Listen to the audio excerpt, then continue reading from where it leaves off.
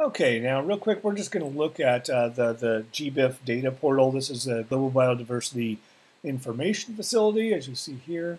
It's just kind of a central clearinghouse that uh, uh, people use to sort of, uh, it, it, mirrors data sets from a whole bunch of different museums and, and other scientific collections. And it's just a really great place to go and get a lot of occurrence records for a species.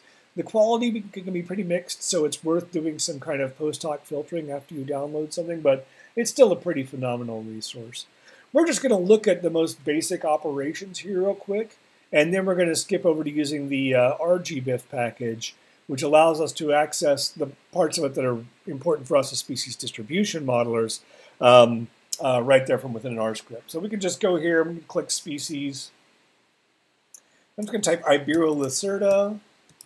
It's a genus of uh, uh, lizards. Are mostly in Spain, but sort of more broadly in Europe. And then we'll just pick one here. We'll pick Monticola. There you go. It gives us a little bit of information about it. We've got some nice pictures. We've got uh, a map here that essentially shows the kind of density of points that they have. And if we go over here to this little tag for occurrences, you'll see a table of occurrences. So we've got uh, latitudes and longitudes, when they were observed, basis of record, where it actually comes from, all these sorts of things. Uh, if you want to, you can actually download this. Um, and basically, you'll click here and it'll zip it up for you and email you a link and all that sort of stuff. Uh, you may still need uh, an account to download records. I, I, can't recall for sure, but if so, those are pretty easy to create. I've already got one. So we can hit simple here and download it, and it'll send me an email in a few minutes that has a link in it. Um, I almost never actually use the uh, GBIF web portal, though. I pretty much always use the uh, RGBIF package. So we're going to sort of skip over here and do that. So, um, yeah. So do a library, RGBIF. That'll load that in. Uh, you may need to install that if you don't have it already. And then we're going to install. We're going to uh, load in Leaflet because we're going to use that for mapping some stuff and uh, dplyr. So we can use the pipe operator. All right. Oh, and uh, Viridis, just to make things look pretty. That's uh, Viridis is just a package that has some color ramps in it that are nice for plotting. So in RGBIF, there's a, a basically functions that interface with the GBIF database directly from R. So we're going to say IBL, that stands for Ibero-Lacerta, we're going to use this function called occurrence search, oc search. And scientific name equals, and in quotes, Ibero-Lacerta. And we're going to limit this to 1,500 records. Uh, there is a maximum number that it will actually allow you to access. 1,500 may actually be the limit. But there's a, a maximum number that will allow you to get in a single go this way. So just be aware of that. It'll take a minute because it's going to contact uh, GBIF and say, hey, give me these records.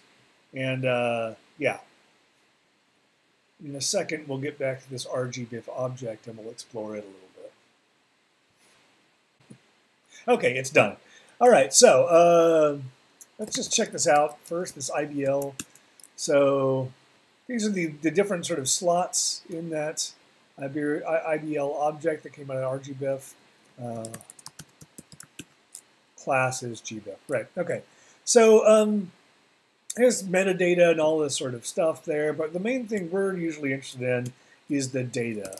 Uh, that's a data frame, if I remember correctly. Uh, IBL data. Yeah, so this is, oh, it's actually a Tibble.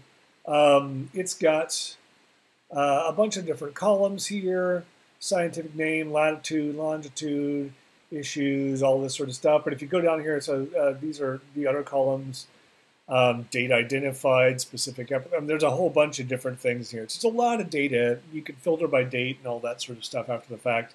Um, we're not going to bother with all that. We're just going to sort of uh, play around with this as is. Um, let's just make sure these are all the same genus, though. So there is in IBL Oops. There is a column genus. Yeah.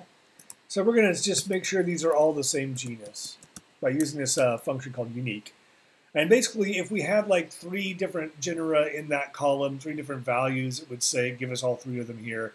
But we only have the one, so it says, okay, everything in here is an Iberolacerta. So we didn't really get anything from another genus on accident. Okay, um, all right. Um, we are going to cut this down, though. We don't really need all these columns just to display stuff. We're going to do IBL dot small is we're going to use the subset function. Subset that data frame or that tibble, and we're going to select these three columns: uh, uh, species, decimal, oops, comma, des, decimal, latitude, and uh, decimal longitude. Okay.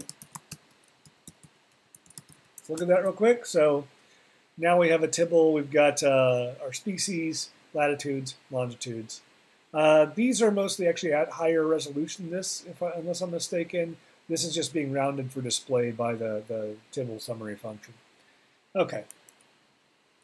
We're going to convert this to a data frame um, because Leaflet likes data frames, if I remember correctly. I like data frames. Uh, okay. So, um, yeah. Now let's do this again. Uh, I don't really like having to type all this sort of stuff, and so I'm just going to uh, change the names here. So we're going to do colnames. IBL.small is C, uh, species, lat, and long.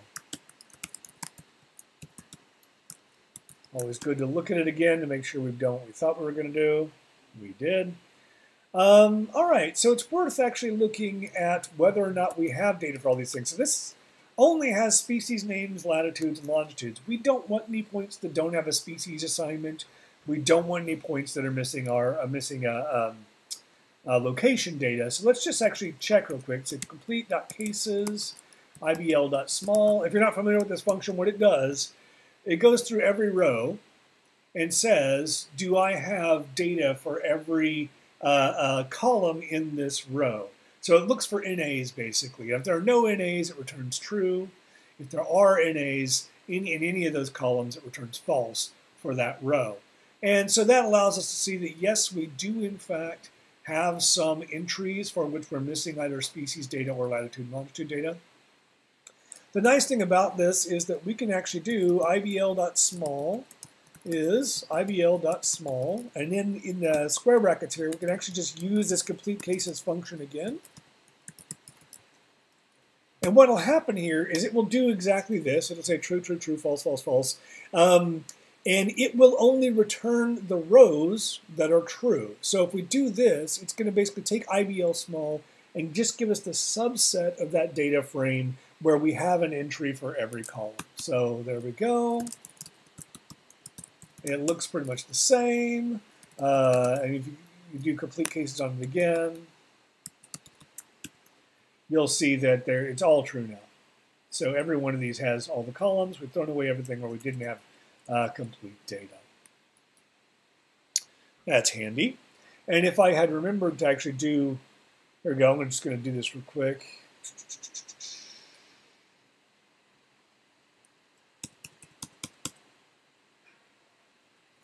Okay, uh, let's actually just look real quick here. dim ibl.small. And you'll see before we do this complete cases thing, we've got 1,500 rows. Yeah? And uh, we'll do this again. After that, we've got 1,422 rows. So we got rid of, what was that, uh, 78 rows that had some NAs in them. We actually, if you look at this, we've actually got a lot of duplicates in here, though. We're not going to bother plotting that right now, but we're going to want to cut out those duplicates as well. And we'll do that this way. We'll do ibl, oops, bl.small is, and we use this function called unique, ibl.small. And now we're going to look at how big that is. And you'll find 655. So we cut out, I don't know, it's like just a little less than 800 records by getting rid of all the duplicates. So we had quite a few duplicate records in that data set. Uh, we can actually sort of uh, look at how many we have for each species now by using this table function, uh, table ibl.small species. And what that's going to do is count up how many entries we have for each of these species. See, there's a few of these where we don't have very many data points. We have quite a few for Monticola and Bonnali. Uh, yeah, decent number for Cyreni. Yeah, so there you go. So we've got uh, a data frame that has uh, occurrence points for all of these species in it. We've got latitudes and longitudes for all these entries. Um, we've removed all the duplicates. We've removed all the NAs. Now let's actually look at, at what we're doing here, or what we've got here. So we're going to create a palette um, for leaflet. When we did this in the leaflet tutorial where you have to create this function that returns a color value when you give it a value of a factor. It's obnoxious, but it's necessary. So we're going to do this. Um, use this leaflet function called color factor. We're going to use a Viridis palette now. And we're going to tell it option C. So the uh, options, options A, B, and C are um, the different color ramps. So there, there are four color ramps in Viridis uh, labeled uh, A, B, C, D. And this is a strange syntax, but after this you put another set of parentheses and say 8. And that's because we've got 8 species here, right? One, two, three, four, five, six, seven, eight. And so what this is going to do is it's going to give us 8 colors from the Viridis palette, and it's going to map those then to the domain we give it, which is ibl.small species. And if we look at this palette now, you see that it actually is a function, and it's a function that returns color values when you feed it something from this um, uh, IBL small species. All right. So real quick, we're going to make a map of our um, of our species using leaflets. Uh, this is about all we're going to do here. I'm just showing you how to get data from RGBIF, so we're not going to do a whole bunch of, uh, you know, messing around in, in leaflet like we did in the leaflet tutorial. We're just going to do one map here. And we're going to use that uh, dplyr syntax. We're going to do leaflet ibl.small. And remember, the reason we do this is that now anything I tell leaflet after this, any variables I pass or anything like that, it's going to know to look at ibl small for those things. We're going to pipe that into add provider tiles. Uh, provider equals, so now I'm going to use the Stamen terrain background tiles. Okay, so we just added the uh, background map to our little leaflet map here. And then we're going to pipe that to add circle markers. Remember, this is the one that allows us to add dots. And uh, it wants to know what the longitude column is, and that one we called it long mon, sorry, lat equals tilde lat. So these are the column names from our IBL small data frame. Um, we're going to set the radius to 5. These are these are options I sort of worked out based on uh, playing around with this in the demo just to make this look relatively nice. Um, these are not things I knew to do off the bat. I was like, okay, well, you know, I the, I think the default size is 10, and that didn't look very good with as many points we've got, etc. So um, now we're going to color these points tilde pal species. And so what this is going to do is going to use the species column from IBL small. It's going to pass that species column to this pal function, and it's going to get back a list of colors, and it's going to color those points by the value of the species column at that point. And we're going to make these uh, points uh, uh, opaque. So we're setting the opacity to 1. And we're going to pipe that to add a legend. We're going to add it in the uh, bottom right. And I just, again, know that because I did this uh, with it in the top right, it was sort of more in the way than it was in the bottom right. So we're going to do this the bottom right. Um, the, co the color palette for the legend is PAL. Um, that's basically telling it the palette is this PAL function here. Values equals, again, tilde species. The title of the legend is species. I'm going to capitalize that, so that's just a character string. And again, opacity equals 1 so that uh, uh, whoops, the colors are shown as opaque. So let's see if this all worked. Whoops. Uh, long tilde, oh, yes, sorry, this should be long equals tilde long. Okay, and so it went ahead and made a map. Let's make sure it looks right. And it does. This is about what I wanted this to look like. Let's zoom in here. And hopefully it will actually load. But it's not. Thank you very much, R. Okay. Uh, we'll just look at it down here. Um, right. So here we go. We've got, you know, our base map here that we added in. This is that uh, Stamen terrain background thing. And then we zoom in here and we've got uh, occurrence points for our species, and they're colored by which species those points belong to.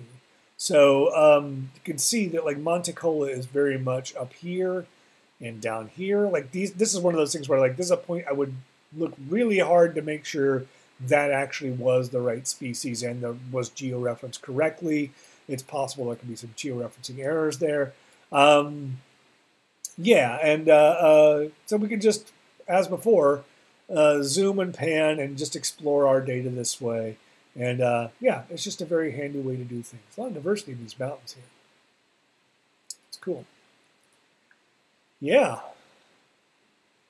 And so that's uh, uh, how to use RGBIF and how to plot multiple species on a map uh, colored by uh, the species identity.